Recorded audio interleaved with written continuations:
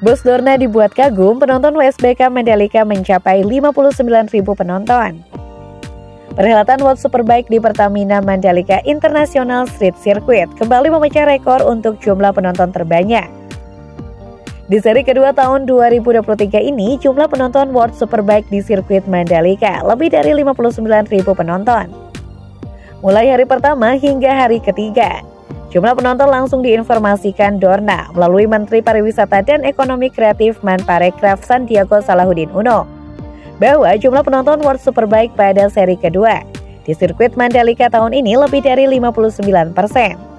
Jumlah ini juga dijelaskan naik dari jumlah penonton World Superbike tahun lalu, yakni sekitar 45 ribu orang penonton, sehingga mengalami kenaikan 15 persen. Ini naik 15% dari tahun lalu, ucapnya Minggu 5 Maret 2023. Meski begitu, jumlah ini belum mencapai target. Sebelumnya jumlah penonton ditargetkan sebanyak 75 ribu orang. Namun Sandiaga mengapresiasi kerja keras penyelenggara bersama pemerintah daerah dan menjadi modal awal untuk lebih menyukseskan gelaran selanjutnya di Mandalika.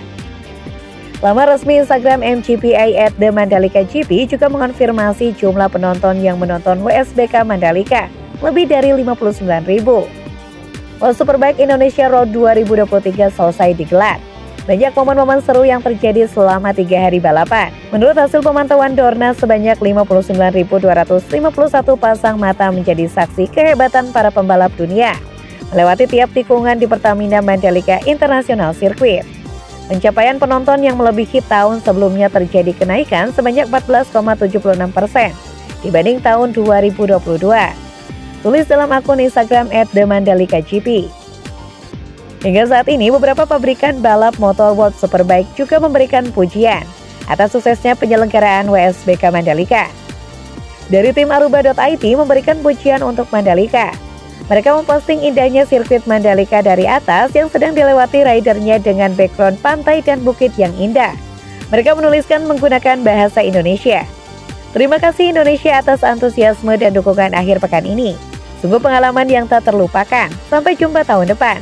Hashtag salam dunia tipu-tipu. Tulis akun Instagram arubi.id. Kemudian ada akun Instagram resmi milik World Superbike. Dia juga memberikan pujian untuk sirkuit Mandalika. Mereka memposting beberapa foto momen-momen indah para pembalap saat balapan di sirkuit Mandalika. Dalam ucapan caption unggahan fotonya, mereka menuliskan, kami masih belum berakhir dengan Mandalika dan betapa istimewanya akhir pekan di sana. Tulis dalam akun Instagram Mods SBK sambil menambahkan emoji kagum dan bendera Indonesia. Itulah beberapa informasi yang dapat kami sampaikan hari ini. Untuk agar tidak ketinggalan informasi selanjutnya, silakan ikuti channel ini dengan cara subscribe dan aktifkan notifikasi loncengnya.